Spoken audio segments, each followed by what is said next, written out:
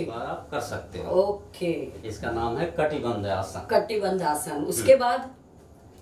इसके बाद है दाहिना हाथ हम आगे करेंगे। हाँ। थोड़ा और पैर में और कमर में आए। हाँ। और दाहिना पैर जो है उसको ऊपर लेके जाएँगे जितना लेके जा सकते हैं। हाँ। लेके जाएँ फिर बायां बारी बारी से करें। ओके।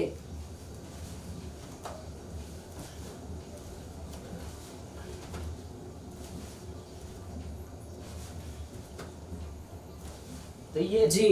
दस तो दर्शकों इस प्रकार के आसन कुछ हमने आपको बताए जिसका इम्पोर्टेंस आपके जीवन में आपके रोगों से मुक्ति पाने के लिए कौन से और ज़रूरी है।